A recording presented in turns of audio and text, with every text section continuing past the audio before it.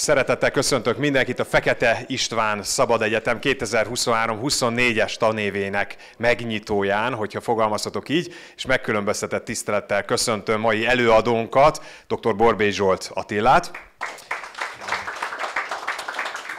aki a rendszerváltás utáni külhoni magyar érdekképviseletről, a nemzetpolitikáról fog elsősorban beszélni.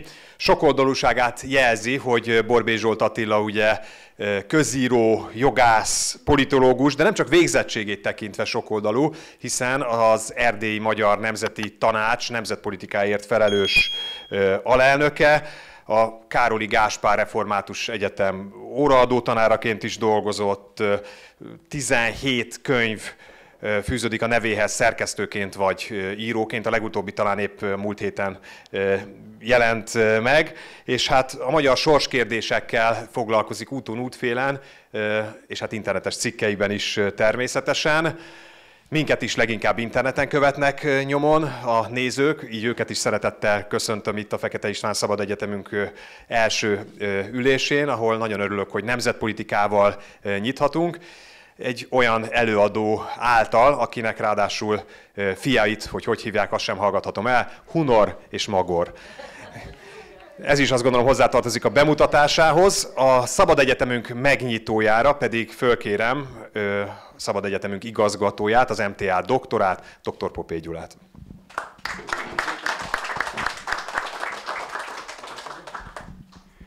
Köszönöm szépen.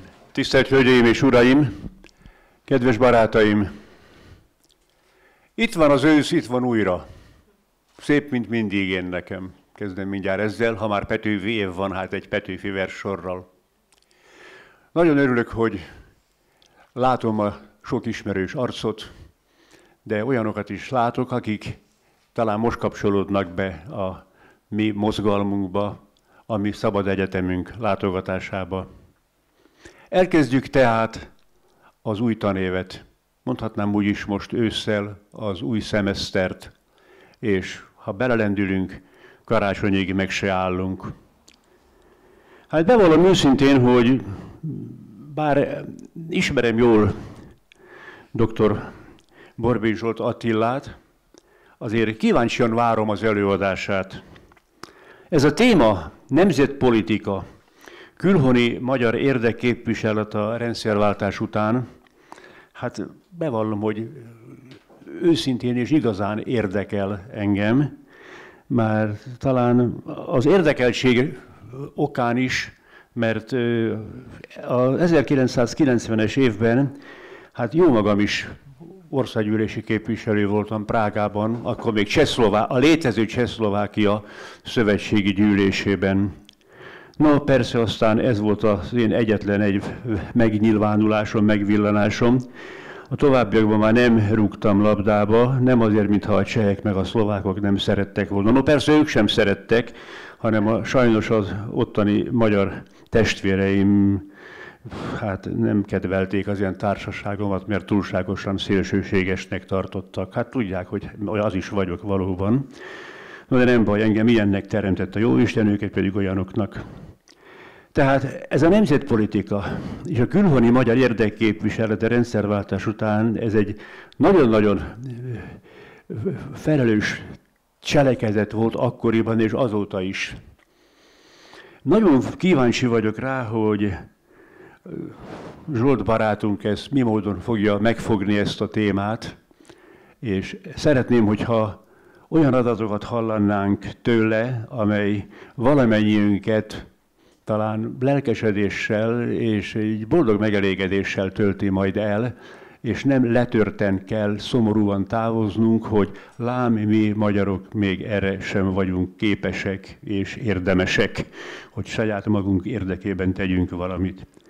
Szeretném, hogyha bíztató szavakat hallani, hallanánk valamennyien, és hát úgy fogalmaz, hogy nehogy aztán itt öngyilkos jelöltek távozzanak szomorúan hanem a felvidékiek növe, növekedjék, vannak itt ugye olyanok is, növekedjék az elszántság, hogy a szeptember 30-ai választásokon ki kell vágni a rezet magyarosan, és mindenki másban pedig növekedjék a vágy arra, hogy hát a lehető legmélységesebben szurkoljanak a felvidéki magyaroknak, mert a felvidéki magyarok sikere szeptember 30-án az összmagyarság sikere is lenne.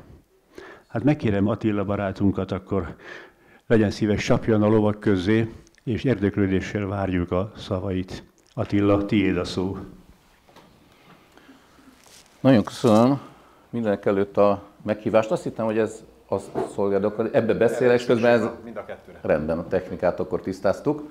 Mindenek előtt nagyon szépen köszönöm a meghívást aminek annál is inkább örömmel tettem eleget, hiszen volt egy idő, amikor én ugyan kívülről, előbb meg belülről, de ugyanazt a politikai közösséget támogattuk, és igyekeztünk sikerre vinni, amit általában a politológia és a szaksajtó egyaránt nemzeti radikálisként jelölt. És amikor volt az első Visegrádi találkozó, akkor pontosan erről tartottam egy előadást, hogy mit is értek én a nemzeti radikalizmus alatt. Ez nem egyezik egyébként a közkeletű meghatározásokkal, de én úgy gondolom minimum gondolatébresztő. Tehát jó magam úgy, úgy vélem, hogy azok a, a pártok, mozgalmak nevezhetők nemzeti radikálisnak, amelyek lényegében dogmamentesek, szinte ideológiamentesek, leszámítva egy kérdést, ez a nemzetnek a kérdése. Tehát amelyek úgy nemzetépítőek, hogy közben nem ahhoz méricskélik a maguk programját és adott politikai megnyilvánulásait és lépéseit, hogy akkor ez most belefére adott esetben mondjuk a konzervativizmusba, vagy a keresztény demokrat, kereszténydemokráciának a koordinátorrendszerébe, ne adj Isten, bármilyen baloldali ideológiába, hanem azt mondják, hogy amilyen, ahogy Szabó Dezső az egyik nemzeti radikális, szerintem legalábbis, fogalmazott, olyan vélemény agyarral küzdenek a politikai versenyben, amely a magyarságot a lehető legbiztosabb győzelemhez tudja vinni, és hozzásegíti ahhoz, hogy elfoglalja a népek nagy versenyében azt a pozíciót, amire több mint ezer éves múltja predestinálta. A témámat is ennek megfelelően jelöltem ki. Most igyekszem egy órába tömörítve azt a három speciális kollégiumot előadni, amit még a Károlin Popé Gyula kollégájaként nem kis megtiszteltetés volt egyébként ilyen emberek mellett tanítani, mint Rafael Ernő és Popé Gyula. Oktattam, tehát fogok beszélni a szűk értelemben nemzetpolitikáról, fogok beszélni az erdélyi magyar közéletben fölelhető politikai törésvonalakról, és megpróbálom fölvázolni a rendszerváltás óta eltelt közel 35 esztendőt. Tudom, hogy főleg a nemzeti körökben nem nagyon népszerű ez a rendszerváltás kifejezés. Jó magam, ezt jogászként tudom megközelíteni, és úgy gondolom, hogy alkotmányjogilag kétségkívül váltás volt. Egész egyszerűen átírták azokat a játékszabályokat, amelyek meghatározzák az egyén és az állam viszonyát, tehát szerintem volt egy egy rendszer, egy alkotmányjogilag meghatározható rendszerváltás, hogy ezt milyen kísérő jelenségek rondították el és siklatták ki, az egy teljesen más kérdés. Volt elitváltás, hogy, hogy nem véletlenül nevezik ezt sokan gangsterváltásnak, de ez, ez, egy másik, ez egy másik téma. Ami a nemzetpolitikát illeti, érdemes megkülönböztetni a szűk, szűk értelemben vett nemzetpolitikát, úgy általában a nemzetpolitikától, hiszen nemzetpolitika minden, ami így vagy úgy, de a nemzet sors kérdéseivel összefügg, tehát nemzetpolitikai dimenziója van minden egyes szakágazatnak, bárminek. Tehát a családpolitikától elegészen a külpolitikáig, és a, a rendészetnek, tehát nincs lényegében a, az állam életnek olyan dimenziója, aminek ne lenne valamiféle nemzetpolitika relevanciája. A magyar közéletben nem véletlenül nemzetpolitika név alatt azt szokták érteni, hogy miképpen viszonyul az adott kormányzat a határon túli nemzetrészekhez, és hogyan próbálja orvosolni a nemzetnek a szétszakítottságát. Ugye evidens, hogy ez, ez a probléma, mint olyan, ez 1920 óta létezik, hiszen azelőtt a, az a bizonyos nemzetépítés, az éppenséggel az államnemzetnek a, az eszmei zászlai alatt zajlott, és gyakran megkapom én magam is, meg a hozzám hasonlóan gondolkodok azt a kérdést, hogy hogy létezik az, hogy én helyeslem azt az asszimilációs politikát, amit pátortalanul és nem igazán sikeresen, de az osztrák-magyar monarchia idején folytattak a kisebbségekkel szemben a magyar kormányzatok, és helytelenítem azt a politikát, amit velünk szemben folytat a bármelyik utódállam. Hát ez nagyon egyszerű, magyar szemmel nézem a világot. Tehát a politika nem arról szól, hogy, hogy mindenben azonos mércével kell mérni, nem. Arról van szó, hogy azt kell megnézni, hogy az adott politikai helyzetben nekünk mi az érdekünk, és azt kell képviselni, mi nekünk éppen az érdekünk.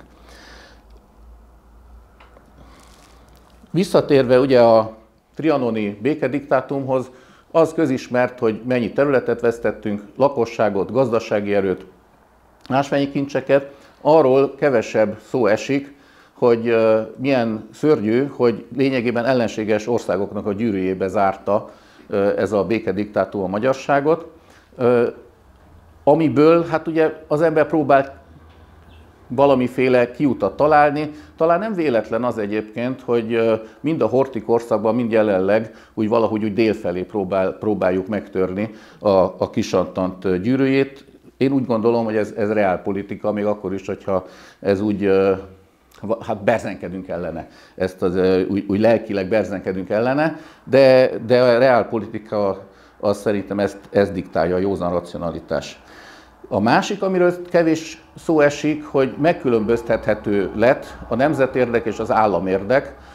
Ugye el, eladdig, mint említettem, a klasszikus republikánus nemzetfogalom, tehát az magyar, aki magyar állampolgársággal rendelkezik, ez valamilyen szinten ama bizonyos bártortalan tiszai, ötvösi koncepciónak volt a része. Nos, mihely szétdarabolták Magyarországot, már természetesen a kultúrnemzet meghatározás vált a, a mi érdekünké, ennek a képviselete, ami, csendben jelzem, közelebb is hozta a hivatalos retorikát a realitásokhoz.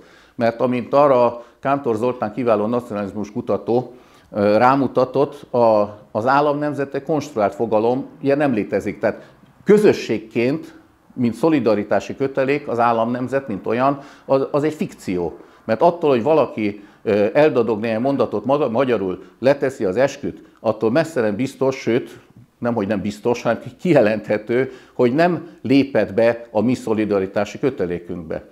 Ezzel, ezzel ellentétben a kultúrnemzet, ami létező történelmi, kulturális kötöttségeken alapszik, az meg egy olyan közösség, ami, ami van, és ami, ami hat. Eme bizonyos államérdek és nemzetérdeknek a megkülönböztethetőségére alapult tulajdonképpen az egész kommunista korszak, amikor Kis-Magyarországban gondolkodtak ugyebár az állami vezetők. Úgy gondoltam, hogy röviden áttekinteném a 20. századnak a nemzetpolitikai koncepcióit. Hát ugye a horti korszaknak mindenki ismeri a, a nemzet felfogását és a nemzetpolitikai alapállását, akkor lényegében minden törvényes politikai erő fölsorakozott a revíziónak a jogos igénye mellett.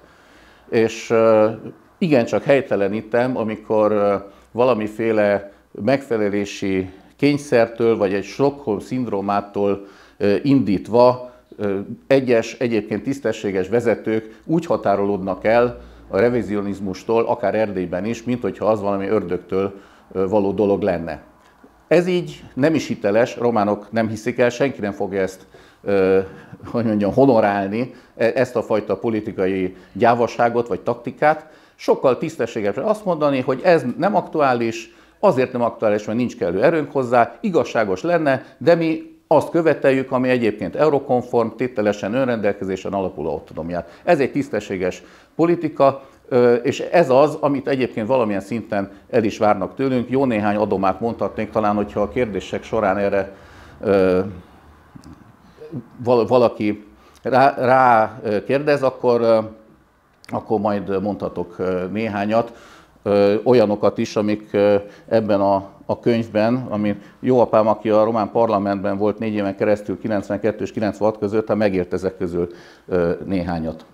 Tehát a, a Horthy korszaknak az egyébként sikeres revíziós politikája, hiszen 38-tól egészen 41-ig sikerült a, az elorzott területeknek jelentős részét visszaszerezni, az megalapozott volt, igazságos és helyes. Más kérdés, hogy olyan erők csaptak föl össze a magyarságnak a, a feje fölött, amiben a mi országunk csak egy ilyen kis gyufás katuja volt egy, egy tengeri viharban, tehát egyszerűen ne, nem tudtuk megőrizni a megszerzett területeket.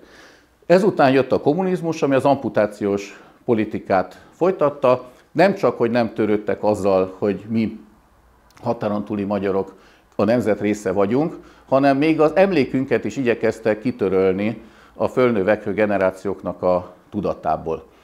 Itt egy rövid varga betűvel érzékeltetném ennek a, a súlyosságát, és azt, hogy én hogyan szembesültem ezzel. A Ceausescu alatt útlevelet, mint ellenőrzés alatt álló, ellens, rendszerellenes embernek a fia, azt nem kaptam egészen rendszerváltásig. Tehát egyetlen mód arra, hogy kapcsolatot tartsak hason szőrű és hasonlókorú fiatalokra, a levelezés volt. Az ifjúsági magazinon keresztül tettem szert néhány tucat levelező társra, és nem volt olyan köztük, aki föl ne tette volna kérdést adott pillanatban, hogy hogy létezik az, hogy, hogy ilyen, ilyen jól tudok magyarul. És mikor, mikor mentem ki? Ez, ez úgy visszajött, sőt, még olyan is volt, aki mindenféle rossz nélkül azt mondta, hogy hát mondtam a barátnőmnek, hogy levelezek a román fiúval. Na hát én akkor szépen kiokosítottam őket a, a helyzetről, tudván tudva egyébként, hogy, hogy minden levelet fölbontanak és, és cenzúráznak, vagy minimum lefegymásolnak, de számomra ez sokkoló volt. Tehát ugye az erdély magyarok körében Ceausescu alatt egyfajta ideálkép élt Magyarországról. Számunkra az, az evidencia volt, hogy, hogy itt, itt mindenki tudja, hogy mi volt Trianon, és, és mindenki számon tart valahol minket. És hogyha találkoztunk nettán olyanokkal, hát ez nyilván egy, egy szelektált közösség volt, akik eljöttek hozzánk, hát ők beleilleszkedtek mondjuk ebbe a fantomképbe, csak hát rajtuk kívül még nagyon sokan voltak, akik, akik meg nem. No, ezt a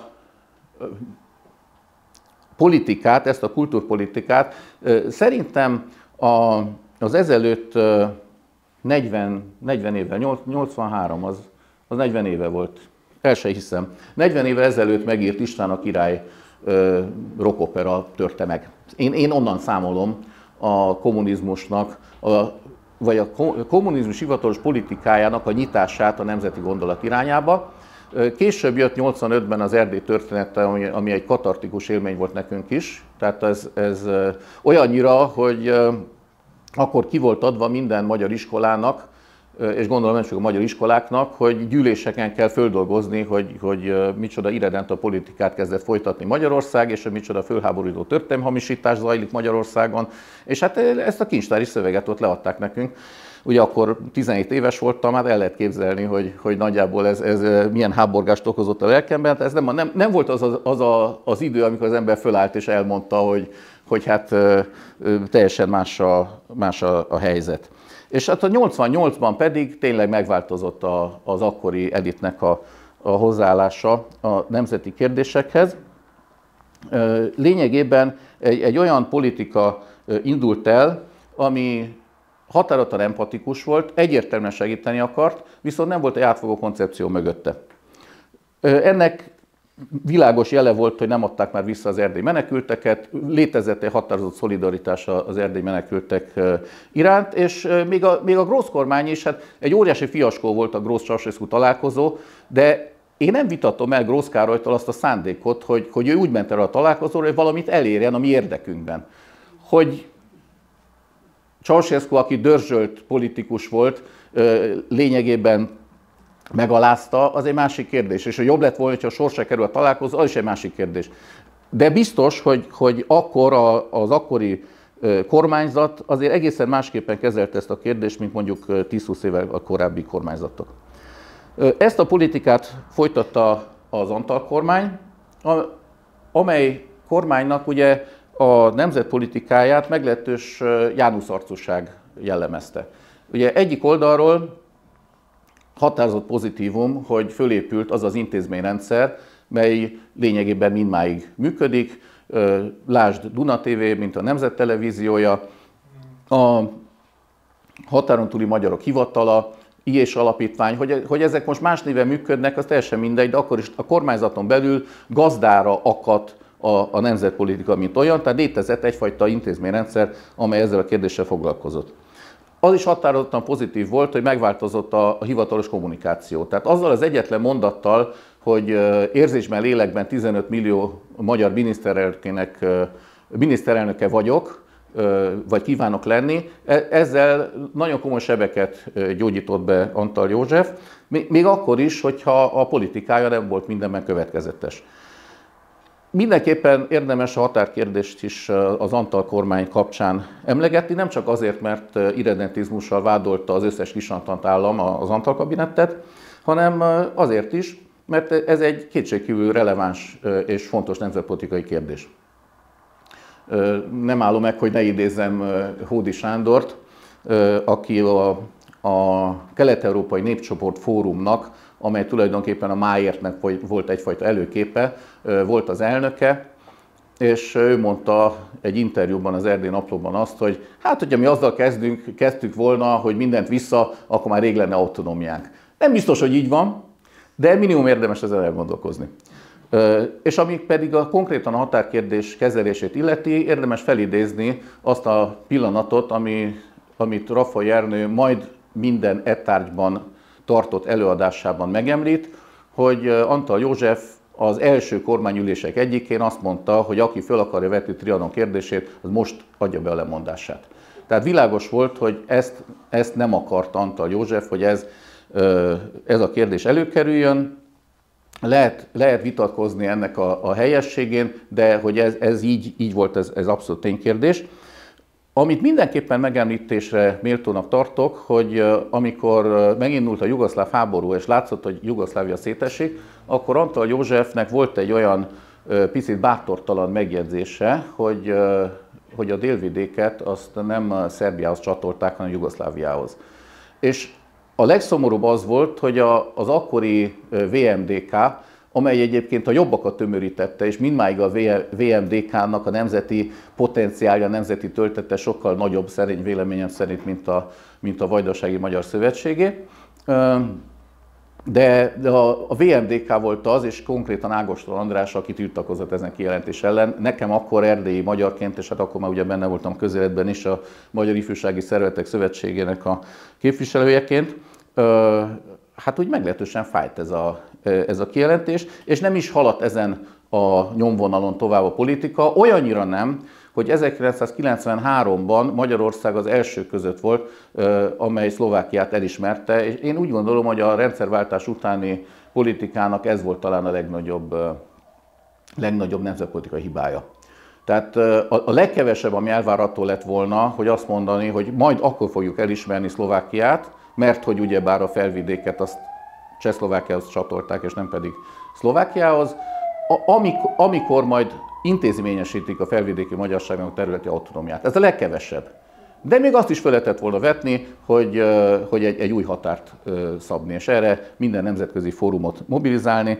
Ez, ez, ez a, a úgynevezett bizalom megerőlegezés politikája, ami egyébként 93-ban az SDS-nek volt a programja, NANÁ, hát ki másnak, ez, ez sehova nem vezet, hiszen olyanoknak előlegezünk bizalmat, akikről pontosan tudjuk évszázados tapasztalat alapján, hogy csalatkozni fogunk. Tehát e, ez a legabszurdabb, ez egy, ez egy, ez egy nonsens politika. A másik kritikai megjegyzésem az Antal kormány nemzetpolitikai kapcsolatban, hogy azt a bizonyos 93-as állampolgársági törvényt, amely alig tett különbséget a hatántúli magyarok és mondjuk a bevándorló kínaiak között, az bizony ők fogadták el, a nemzeti kormány. Utána mi kilincseltünk világszövetségi színekben, meg RMDS-es, még RMDS-es színekben is, vagy reformtömöréses színekben. Reform, zárójelben reformtömörülés volt a Nemzeti Autonomista platformja az RMDS-nek, amely egyébként úgy működött akkoriban, mint egy hát az állammodell mentén, mint egy nemzeti önkormányzat, nem úgy, mint egy párt. Ez később megváltozott. Tehát kilincseltünk a, a Horn-Kunce kormány idején, hogy, hogy változtassák meg azt a törvényt, amit úgymond a, a, a mi kormányunk fogadott el korábban. És hát nem lehet elhallgatni azt sem, hogy az ukrán-magyar alapszerződésnek a megkötésével egy olyan precedens teremtettek, amit, amire utána többször is hivatkoztak a, a Horn kormánynak a, az illetékesei. Ugye Bégány Attila még a az MDF etikai bizottság elé is akarta citálni, később őt zárták ki ugye az MDF-ből, Jeszenszki Gézát és Antal Józsefet, mert hogy nem, nem olvasták el aláírás előtt a, az alapszerződést. Csendben jelzem, minden hiteles forrás azt mondta nekem privátim is, hogy valóban nem olvasták el. Valóban nem olvasták el, megvezette őket a, a, a szocialista apparátus. Ez, ez történt, és ugye arról beszélünk konkrétan, hogy, hogy az volt benne az ukrán-magyar alapszerződésben, hogy, hogy a jövőre nézve is lemond még a békés határváltoztatásnak a jogáról is a, a magyar fél. Hát ezt semmi szín alatt nem lett volna szabad kijelenteni. Nagyon érdekes a Horn kormánynak a nemzetpolitikája, amely ugye 94-ben került hatalomra.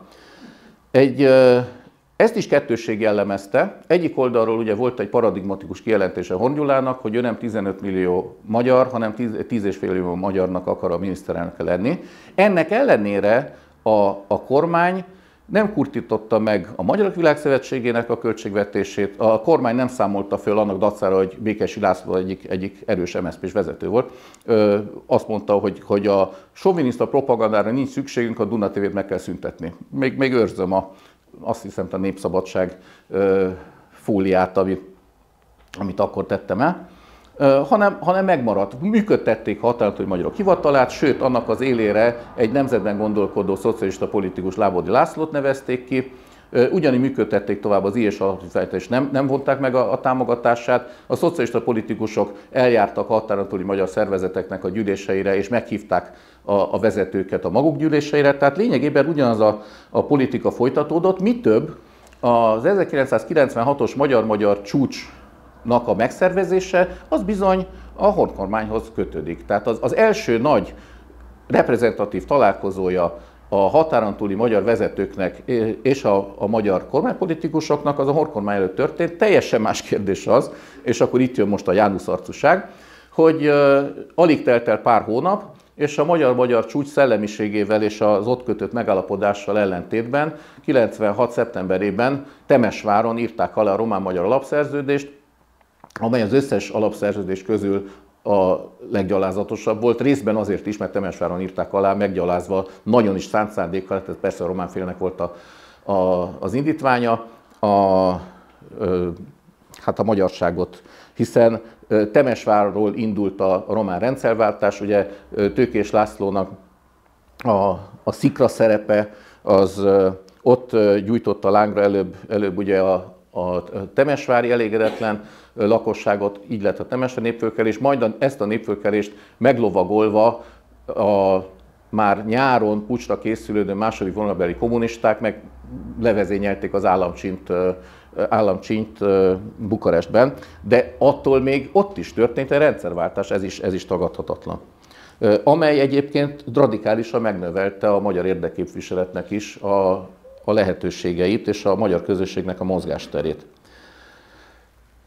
Mindenképpen meg kell említsem, hogy ez az alapszerződés annyira rossz volt, hogy az a Révész Sándor nem tévesztendő össze véletlenül sem a piramisnak az énekesével, a Népszabadság rovatvezetőjéről van szó, aki a, a legutóbb azzal írta be magát a magyar sajtótörténetbe, hogy a pedofilis ember címmel egy kifejezetten érzékenyítő cikket írt erről a kérdésről, azt is megemlítve, hogy engedélyezni kéne a, a pedofil képregényeket, hiszen szegény pedofiloknak is valamire rá kell izgulni. Halál komolyan, olvastam a cikket, le voltam döbbenve, hogy ez megjelenhet nyomtatásban, és, és számtalan más szöveget is idézhetek róla. Fontosnak tartotta, hogy írjon egy olyan könyvet Antalról, ami Nagy Péternek a Szabó Dezső monográfiájához hasonló, az volt az egyetlen célja, hogy hiteltelenítse azt, akiről éppen ír. Na most ez a Révész Sándor is azt mondta az alapszerződésről, hogy pusztító cinizmus, és kőkeményen bírálta az alapszerződést. Vagy ott van Mérai Tibor, aki hát eléggé baloldali gondolkodó, ő, ő is vaslogikával vezette le, hogy alkotmányjogi és, és egyben politikai nonsens előre lemondani a békés határváltoztatásnak a jogáról. Úgyhogy, és mindez történt néhány hónappal a magyar-magyar csúcs után.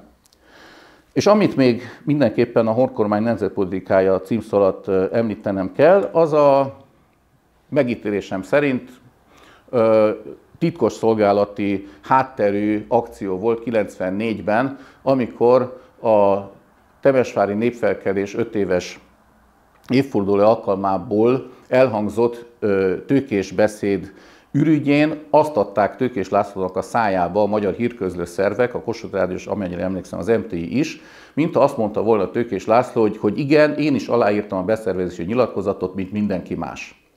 Holott ilyet nem mondott Tőkés László, ez alkalmat adott egy RMDSZ-es képviselő Nagy Benedeknek arra, hogy egy Tőkés László ellenes röplapot írjon, és ezt az RMDS frakcióján belül köröztesse, azzal az evidens szándékkal, hogy egyszer mindenkor a tőkés, tönkre tegye Tőkés Lászlót.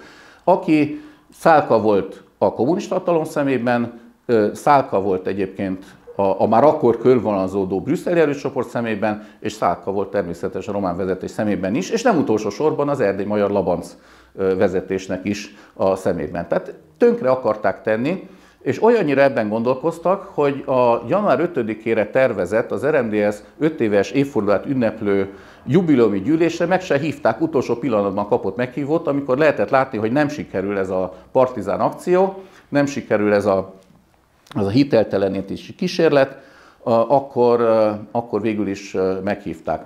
Hosszan tudnék beszélni erről a, a, az akcióról, Elég talán annyi, hogy egy ilyen nyúlfartnyi levélben Nagy Benedek képviselő az ördög szolgájának nevezte Tőkés Lászlót hűtlenkezelőnek, és olyan embernek, aki fülelő lelkiismerettel szolgálja embertársait, miközben teljesen világos volt, hogy Tőkés László szekuritátének nem együttműködője, hanem áldozata volt. Ezt egyébként csendben jelzem, a magyar szeretettel igazán nem vádolható Román Átvilágító Bizottság is elismerte. No, és ebben, ebben egyértelműen benne volt a, a honkormánynak a, a médiája.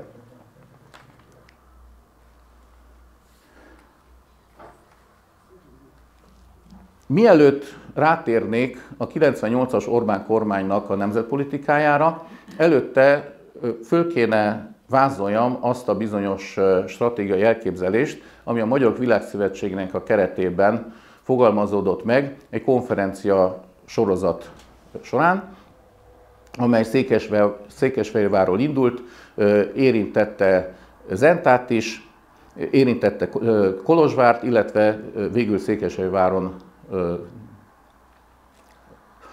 csengett le, és hát elképesztő, hogy, hogy micsoda előadók voltak ott, tehát hosszan sorolhatnám Tőkécki Lászlótól emléke legyen áldott, elegészen Tőkés Lászlóig, de még Markó Béla is részt vett az első, első gyűlés, az együttgondolkodáson, és ezen a konferencia sorozaton fogalmazódott az meg, hogyha nem lehetséges az Alma modell szerint fölépíteni a magyar nemzetet, tehát nem lehet minden magyart egyetlen országba tömöríteni, akkor a szőlőmodellt kéne követni, ami azt jelenti, hogy minden egyes nemzetrész, beleértve az anyországit, szerezze meg a lehető legnagyobb autonómiát a maga ügyeiben, ugye ezek lennének a szőlőszemek, és ezeket a szőlőszemeket kötné össze a kocsány, aminek a legerősebb közjogi összetevője ugye a magyar állampolgárságnak a kiterjesztése, amit közkeletű módon kettős állampolgárságnak szoktunk nevezni,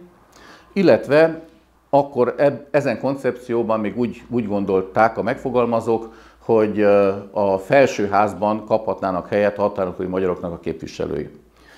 Amikor 98-ban az Orbán kormány meghirdette a határokon átívelő magyar nemzetegyesítést, vagy magyar nemzetintegrációt, akkor, mint hogyha ezen logika mellett, ezen logika mentén fogalmazta volna meg a programját. Nem állítom, hogy összefüggés van a kettő között, bár akár lehet is, hiszen Németh Zsolt is az egyik előadója volt a Székesfehérvári konferenciának.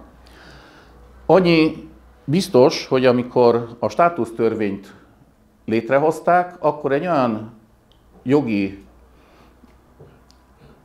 kapcsot létesítettek a határon túli egyes egyén, illetve a az anyaország között, vagy a magyar állam között, amilyenre eladdig nem volt példa Trianon óta. A magyar állandó értekezlet az pedig lényegében a magyar-magyar csúcsot állandósította. Most nagyon érdekes, hogy a, milyen nézetkülönbségek voltak a státusztörvényt illetően, még a Fideszen belül is. Tehát Martonyi János, hát tudjuk, hogy atlantista, és hogy no, mondjuk azt, hogy nem biztos, hogy a nemzetpolitikai alapállás olyan, mint a milyen. Ő nagyon következetesen mindig kedvezménytörvényt mondott, míg Orbán Viktor következetesen státusztörvényt. És ki volt az, aki ugyanezt a logikát követte és írta meg egy cikkben? Hát kérem szépen az a Bauer Tamás, aki időről időre ellenállhatatlan kényszert érez arra, hogy leírja nyilvánosan, hogy Trianon igazságos volt valójában. És Bauer Tamás, hát ugye az a legkevesebb, hogy puhai redentizmussal vádolta a magyar kormányt, és ezt azért tette, mert azt mondta, hogy a Magyar Állandó Értekezlet az valójában egy, egy parlament csíra, és a státusz törvény az pedig egy állampolgárság csíra. Hát mi egyébként, erdélyi nemzeti radikálisok pontosan ezért támogattuk ezt a két, hát mondhat így, nemzetpolitikai vívmányt.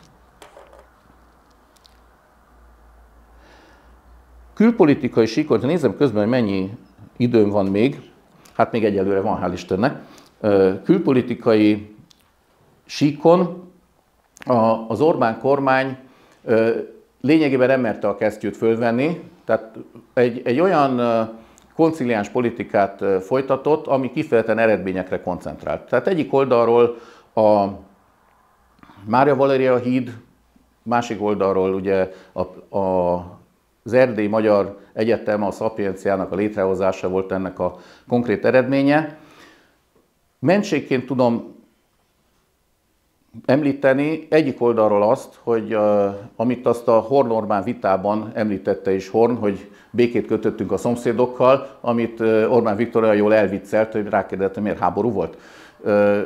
De, de, de ugyanakkor ennek volt egy mély tartalma. Tehát az volt, hogy a magyar átlagpolgár szereti azt hallani, hogy béke van a szomszédokkal, hogy jobban vagyunk velük, és nagyon sokan ezt még úgy is elfogadják, hogyha ennek a magyar érdeknek a feladása az ára. Na most ezen az úton indult el sajnos a honkormány, ugye ezt szolgálták az alapszerződések is, és ebben nem, nem mert az Orbán kormány radikálisan fölépni és az autonómia ügyét zászlóra tűzni. Tényes való, hogy nem is igazán voltak komoly partnerek körbe-körbe.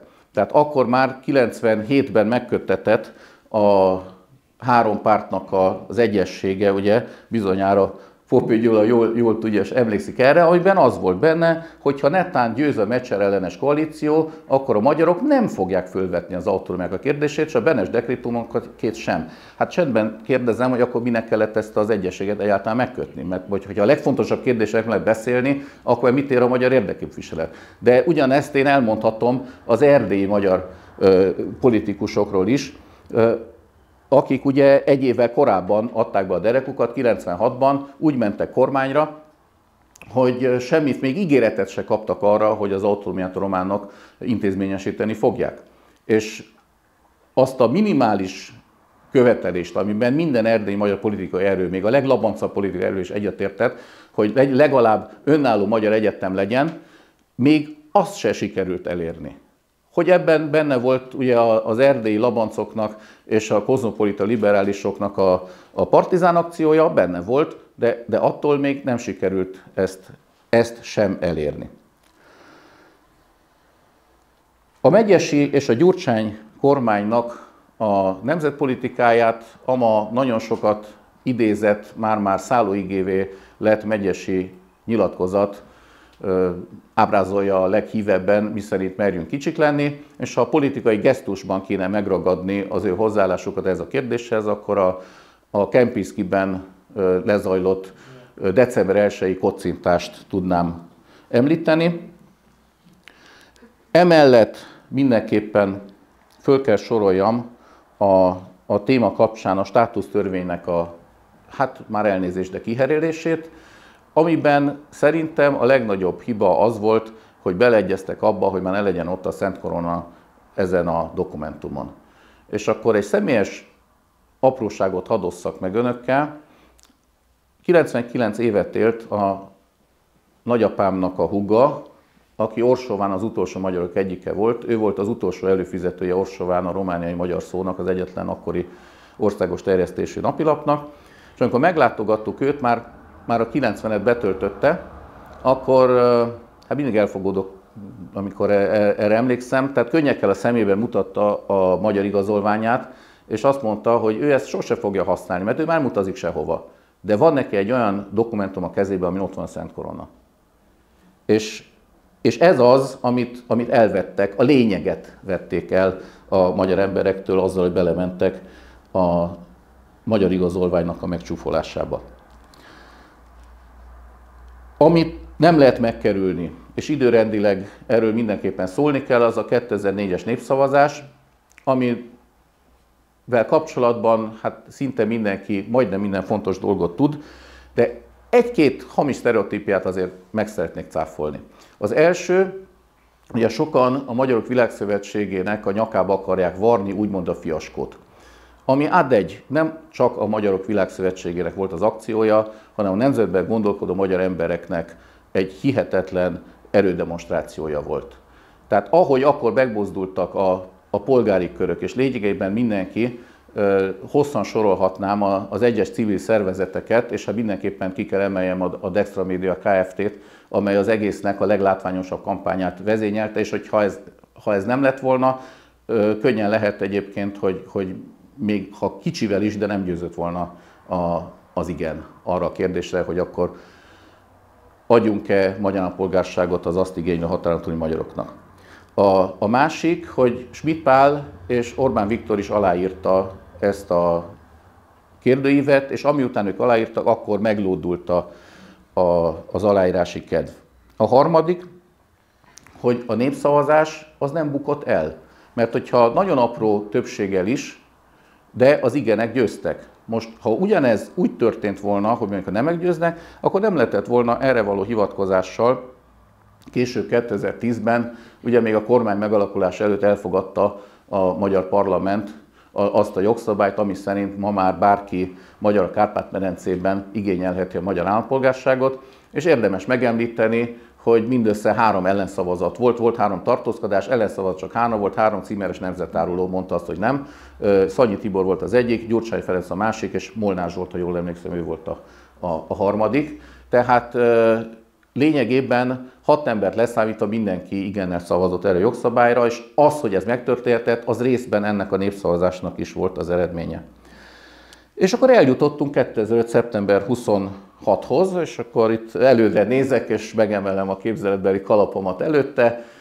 Az egy igen, igen szép akció volt, és hát mi erdélyi autonomisták nagy szimpátiával fogadtuk az ő gesztusát, amikor, hát nem tudom, hogy hány ilyen kis cetlit szórtál a...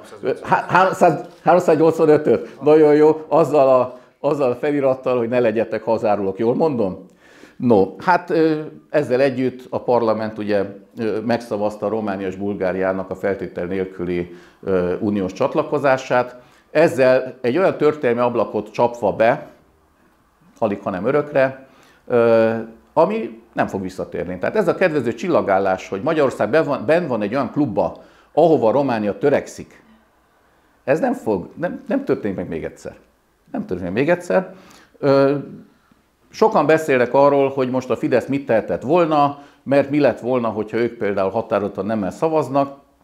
Hát feles, fele plusz egyes törvény, illetve nem törvény, határozati javaslatként terjesztették be E, ezt a, a kérdést. Szerintem alkotmányjogi értelme, tehát alkotmány értelmezést kellett volna kérni az alkotmánybíróságtól, és aztán ez, ez lett volna egy, egy menekülő útvonal. Én ezt egyébként elmondtam 2000. október 6-án német Zsoltnak is, hogy szerintem azt kellett volna csinálni.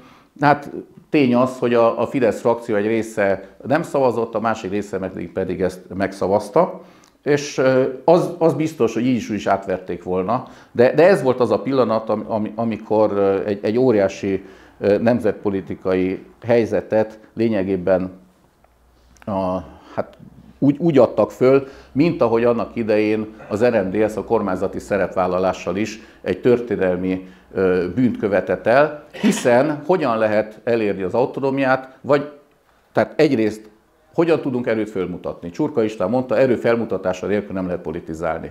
Erőt meg egyrészt úgy tudunk felmutatni, hogy a mi, mi saját közösségünket megszervezzük, és annak az erét felmutatjuk, akkor erre még volt lehetőség. Másik oldalról pedig a külpolitikai nyomásgyakorlás útján.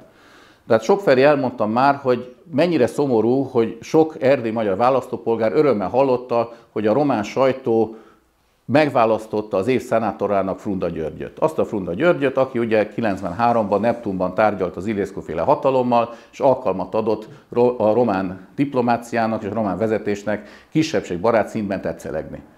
És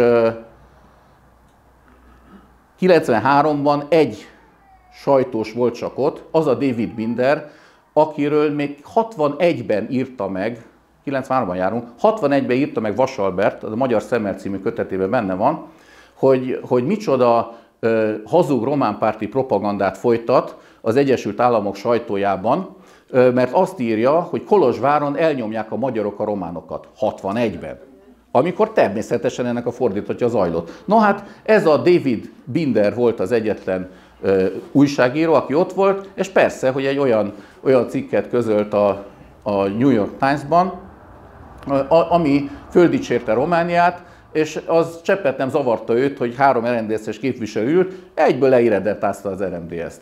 És utána pedig megjelent másnap helyesbítés, hogy nem az RMDS irredenta, hanem az RMDS-nek magyarországi kapcsolatai. No, tehát, és Frunda György volt az egyik szereplő ebben a, a rettenetes játékban, úgyhogy visszatérve, de hova, a, tehát a 96 és a kormányzati szerepvállaláshoz, és ott, ott voltunk ugye, hogy, hogy csak erő felmutatásával lehet politizálni, és Funda Györgyöt megválasztották az év szenátorának, és nagyon sokan örültek ennek, és a románok választották meg év szenátorának. Tehát nem az a dolga egy magyar szenátornak, hogy megsimogassa a buksiát a román sajtó. Sőt, pont ellenkezőleg, én azt hiszem, az a magyar politikus teszi jól a dolgát, akit kifejezetten nem szeret a román sajtó, vagy legalábbis annak a nacionalista része. No, és akkor oda szeretnénk most végül is eljutni, hogy 96-ban, amikor az RMDS kormányra ment, akkor tulajdonképpen föladta a külpolitikai nyomásgyakorlásnak lehetőségét. Ha a kormánynak tagja vagyok, akkor egyszerűen nem engedtettem meg magamnak azt, hogy saját önálló külpolitikám legyen. Hitelesítette kormányról a az RMDS, a román ö, nacionalista elitet, aminek az lett az egyenes következménye, hogy az a szólam, amit eladdig csak az Iliescu féle propaganda harsogott, miszerint Romániában példaértékkel megoldották a kisebbségi kérdést, ezt a szólamot immár Bill Clinton szájából is visszahallhattuk. Ha az RMDS nem lett volna kormányon, biztos, hogy nem így történik. Az RMDS-nek pont az lett volna a feladata, hogy minden létező fórumon arról beszéljen, hogy bizony nincs megoldva az erdélyi kérdés, és nemzetközi rendezést követeljen, ahol csak lehet.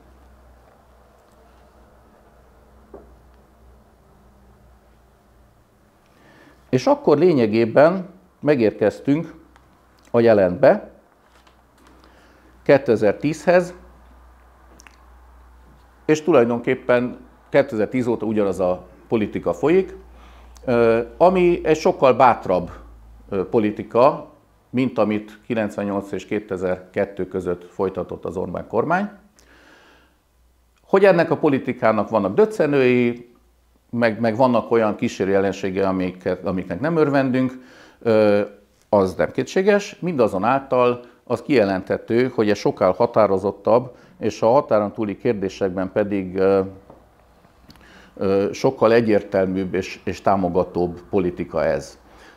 Amit a pozitív rovatba lehet könyvelni. Az nyilván a magyar polgárság kiterjesztése, amiről már beszéltem. Ugyancsak ebben a rovatban lehet könyvelni azt, hogy kiemelték június 4-ét a hétköznapok közül. Más kérdés, hogy az, hogy a Nemzeti Összetartozás napjává tették, az alkalmat adott a médiának, sajnos a kormány médiának is, hogy ünnepnek nevezze a gyásznapot, ami természetesen egy teljesen szkizofrén helyzet, és ezt nem lehet semmilyen szín alatt pártolni. Barackfa című dalt nem is akarom említeni, mert az, az ennek az egész jelenségkörnek a, a legszörnyűbb megnyilvánulása volt. Határozottan jó dolog a, a gyermekeknek a, az utaztatása és az iskolások utaztatása határon túli területekre. Jó magam, meg vagyok arról szentül győződve, hogy a, a Fidesz vezetőinek a szemléleti érésében az is benne volt a, a, az ezt motiváló élményanyagban, hogy Tusnát fürdőre éve, éve, évről évre ellátogatta, 90-től arrafele, és megtapasztalták ők maguk azt, hogy igen, Budapesttől 700 kilométerre magyarok élnek, akik adott esetben még tisztában is beszélnek, mint, mint a fővárosiak. És, és ez, ez, egy, ez egy sajátos kultúrsok lehetett, és úgy gondolom, hogy ez is, ez is benne volt, és hogyha ugyanezt megélik sokkal tömegesen a fiatalok, ez egy, ez egy nagyon, nagyon jó dolog. Amit még mindenképpen meg kell említeni, hogy nagyságrendel megnövelték a határon túlra folyó támogatást.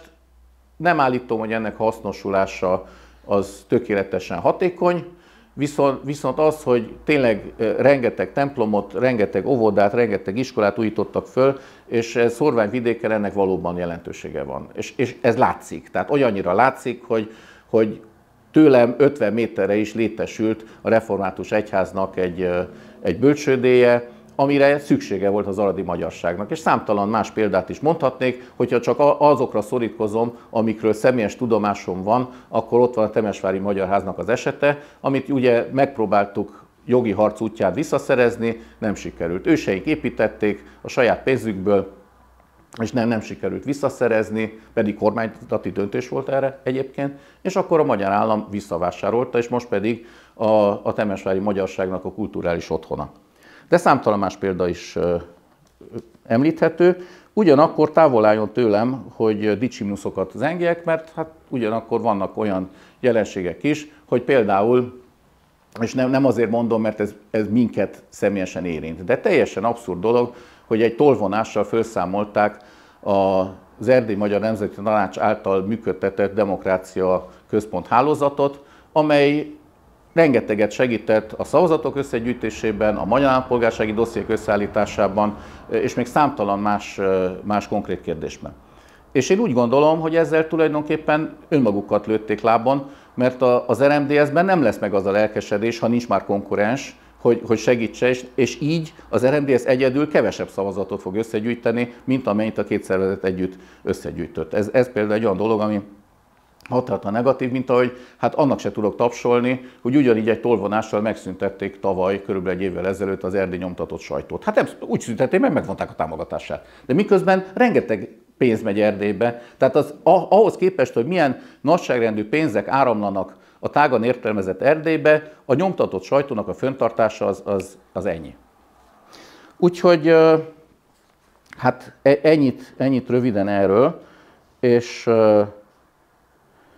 Hát úgy nézem, hogy van még némi időm, hogy az Erdély Magyar Érdekképviseletről is beszéljek. Ugye, ugye egy órásra terveztük az előadást, tehát akkor én most igyekszem összefoglalni a, az erdélyi politikának az elmúlt 34 esztendejét, és ott kezdeném, hogy 1989-ben már ott összecsapott az a bizonyos két oldal, amelyet neveztünk autonomistáknak és tájbasimulóknak, kurucoknak és labancoknak, nemzetieknek és nemzetietleneknek, de mindenképpen arról van szó, hogy van az egyik tábor, aminek az a célja, hogy, hogy békesség legyen, és bármi áron. Egy, egy, én úgy tudtam, hogy a telefonomat lehalkítottam.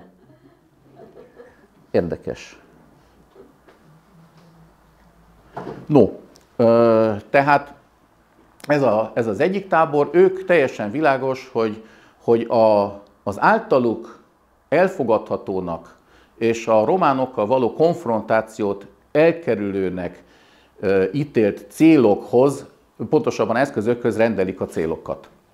Míg a másik tábor azt mondja, hogy egy olyan célt kell fölvázolni, amely azzal kecsegtet, hogy megteremtődik egy olyan létkeret, amely a hosszú távú megmaradásunkat és gyarapodásunkat szavatolja. Ez a létkeret a háromszintű autonómia, egyik oldalról területi autonómia Székelyföldnek, sajátos státuszú helyi önkormányzatok a, a magyar szigeteknek, például Torockó egy, egy ilyen, de az érmelléken is, vagy ott akár területi autonómiás lehet. Mindenesetre vannak magyar szigetek, ezek lennének a sajátos státusú helyi önkormányzatok, és hát a, a személyelvű autonómia, belértve a kultúrás autonómiát, ez lenne a harmadik, ami az egész közösségre vonatkozik.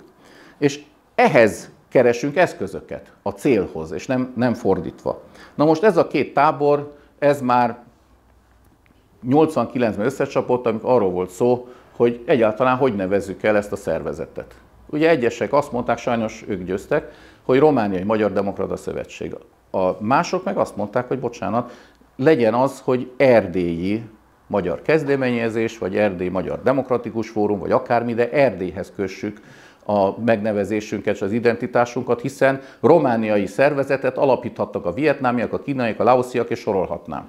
Mi az ezer éves Erdély jelenlétünket, vagy 1100 éves Erdély jelenlétünket hangsúlyoztuk volna, azt mondjuk, hogy erdélyi magyar párt például, amilyen volt is egyébként a történelemben. Hát ezt sajnos ezt a meccset akkor elbuktuk, mert az RMDS Bukarestben alakították meg, azok, akik hát a, hát a szocializációja úgy alakított, hogy, hogy hát ilyen kettős identitások. Egyébként ezt Domokos Géza, az els, RMDS első elnöke el is mondta az első kongresszuson, hogy sokan beszélnek arról, hogy nemzetben kell gondolkodni, nekünk az a sorsunk, hogy két nemzetbe kell gondolkodjunk. Hát ez az a paradigma, ami ellen küzdöttem, amíg az RMDS-en belül voltam, és most is ugyanezt teszem kívülről. Tehát egyáltalán nem két nemzetbe kell gondolkodni, egy nemzetben kell gondolkodni. Különben, ha valaki elolvassa Domokos Gézának a három kötetes visszaemlékezését, esély 1, 2, 3, akkor azt láthatja, hogy a visszatérő kérdés, hogy jaj, de mit szólnak ez a románok? De hogy vajon mit szólnak a magyarok? Az érdekes, hogy nem merült föl benne. És ez hihetetlen, hogy mennyire előjött akkor, amikor 1990. augusztus 30-án szánalomra méltóan könyörgött a románoknak, hogy ugyan ne, ne csináljanak most pogromot, mert, mert mi nem úgy gondoljuk, mint ahogy ugye augusztus 30-án akkor volt a második bécsi döntés, 1940-ben, ez az 50 éves évforduló, és rettenetes volt hallgatni, hogy fölmondja ugyanazokat a román történelmi mítoszoknak a, a történelem hamisító abszurditásait, például egyáltalán, hogy ezt a döntést diktátumnak nevezik. Hát, hogyha létezett valaha nemzetközi jogi döntőbíráskodás, kifogásolhatatlan, akkor ez volt. A románok kérték, elfogadták, végrehajtották. És, és ezek után képesek voltak diktátumnak nevezni. És Domokos Géza egyébként nyilatkozatot is kiadott ebben a kérdésben, egy az egyben, sőt még azt is mondja, hogy a józan magyarok már akkor elítélték a bécsi döntést. Hát a, a józan magyarok azok örömittasan szórtak a bevonuló magyar tankok elé virágokat. Ezt csinálták a, a józan és a kevésbé józan magyarok, de hát akkor nem volt olyan magyar település, ahol a magyarok ne lettek volna boldogok. Ezt ajánlom egyébként a Kelet felé című fantasztikus filmet e, ebben a tárgykörben. No hát ez a, ez a két tábor húzakodott egymással, 90 és 93 között. 93-ban a Brassói kongresszus lényegében az autonómiát beemelte az LMDS programjába. Ezután következett egy olyan sajátos korszak, amikor egyik oldalról kiépült az állammodell mentén az RMDS-nek az új struktúrája, olyan bátor kezdeményezései voltak a, szervezetnek, mint például az, hogy a saját tanügyi törvényük mellett összegyűjtöttek félmillió aláírást, de azt is említhettem, hogy Románia európai tanácsi csatlakozása kapcsán memorandumot fogalmaztak meg, Más kérdés, hogy ebben sem a törvényben, sem a memorandumban nem kapott az autonómia kellő hangsúlyt. És más kérdés az is, hogy azt a programot, amit elvállalt Markó Béla 93. januárjában, tételesen, hogy megfogalmazza az RMDS az autonómia statutumait, hogy nem mondhassák azt, mert ránk olvassák a romának mindmáig, hogy játszunk a szavakkal, nem mondjuk meg konkrétan, mit, mit akarunk, és miféle autonómiát akarunk. Ez lett volna a dolgunk, hogy és elvállalta, tehát a, a Brossi kongresszus azzal bízta meg, hogy két éven belül az autonóm statúma meg legyen fogalmaz, meg fogalmaz, el legyen fogadva. Kettő, hogy legyen egy belső népszámlálás, mert minden román népszámlálás az torzít, legyen egy nemzeti kataszter belső népszámlálás, és ennek alapján jöjjön létre a kétségben vonhatatlan legitimitású erdély magyar parlament. Hát ebből nem tört, nem, nem tört semmi. 96-ban pedig megtörtént az a nemzetárulás, amiről már beszéltem, hogy kormányra ment az RMDS, feladta az önálló külpolitikát, és egyre inkább úgy kezdett viselkedni, mint egy párt. Tehát épp alig lett három év alatt nagy nehezen önkormányzat, utána lényegében feladta, és most hosszan beszélhetnék arról, hogy 96 óta milyen színekben játszott az RMDS vezetés. Egyetlen dolgot szeretnék már csak ezzel kapcsolatban megemlíteni, hogy ugye 2011-ben elnökváltás történt, Marko Béla közel 20 éves elnökösködése után lényegében átadta az általa kinevelt utódnak, Kelemen Hunornak a stafétabotot. Kettőjük között van egy különbség. Tehát Marko Béla egy nemzeti mázba öltöztetett SZDSZ-es figura. Tehát ő volt az egyetlen politikai vezető Gyurcsány Ferenc mellett, aki 2013-ban a székhelyek nagy menetelése ellen nyilatkozott meg, tehát ezzel lépett föl. Tehát, hogy mellettük voltak ilyen őrült publicisták, mint Bőtös Botton, meg még néhányan, az egy más kérdés. De politikai vezető, élvalamű vezető csak ők ketten voltak. De említettem azt is, hogy a, az országot mindmáig védő határkerítés ellen verset írt. Említettem azt, hogy amikor Orbán Viktor egy igen fontos beszédet tartott Tusnádfürdőn, amiben a nemzetállamról beszélt, és a nemzetállam az végül is egy védősánc a globalizmusnak az ostroma ellen, amit alig hatagadhatunk, vagy amikor az illiberális demokráciáról tartott olyan beszédet, amit szerintem bármikor akár a mi hazánk is fölvállalhat, akkor Marko Béla fontosnak tartotta a nemzetellenes sajtó zászlós hajójában, az élet és irodalomban egy elképesztő demagógiával ezeket a, a téziseket úgymond cáfolni, vagy kísérletet tenni a cáfolásukra. De még azt is említettem, hogy, hogy Marko Bélának az is csipi a szemét, hogy a Trianon Múzeum kiadta a Trianon kártyát, ami szerintem egy zseniális ötlet. Ugye egy olyan kártyáról van szó, ahol a Aponyi Albert szerepel, meg Tisza István, meg Horti Miklós, ilyen alakok, és hát ugye a tökfilkó az Károly Mihály, a tökalsó az Kunbéla, tehát Trianon idején, no, és ez, ez se tetszett neki, ez se tetszett neki, és ezzel ellen is fontosnak tartotta népszavában szónokolni. Tehát ő egy ideológikus, egyértelműen SZDSZ-es figura, annyi a különbség, az SZDSZ-nek ahhoz a szárnyához tartozik, amely a, a nemzeti mázat fontosnak tartotta. Ezzel szemben Kelemen Hunor egy pragmatikus ember, aki egyrészt nem akaszt tengelyt azokkal a, az RMDSZ-es vezetőkkel, akik a nemzeti oldalt képviselik. Hadd idézzek ezek közül egyet. Pont idén a kézdívásárhelyi magyar napokon ott voltam egy RMDSZ-es fórumon, néha ilyeneket is teszek, és ott Tamás Sándor azt mondta, hogy igen, azért kell elmenni az Európai Parlamenten parlamenti választásokon szavazni, hogy Orbán Viktornak legyen két vagy három képviselővel több, akkor, amikor értünk küzd Brüsszelben. Ez egy alapvetően korrekt hozzáállás, hogy mondjam, szinte kedvet kaptam az rndsz szavazni, de hát én ezt 92 óta nem teszem, úgyhogy, de, de úgy, úgy volt egy kis megindulás benne, hogy hát tényleg, igen, van ebben valami. No, úgyhogy én tulajdonképpen itt zárnám le a beszédemet, és a végére illeszteném azt a Szabó Dezső idézetet, amit 1988-ban olvastam először. Ez a Panasz című kötetben jelent meg. Annak a Vádlók és Vádlottak című előszavának a végén olvasható. És az úgy szól, hogy nem az illúziók szépek, hanem a tragikus életharc bátor elvállalása, nem a győzelem a harc értelme, hanem a betöltő kötelesség csodás szentsége, nem az erőnk az erőnk, hanem a millió magyar életet életünké ölelő végtelen szeretet. Köszönöm szépen a figyelmet!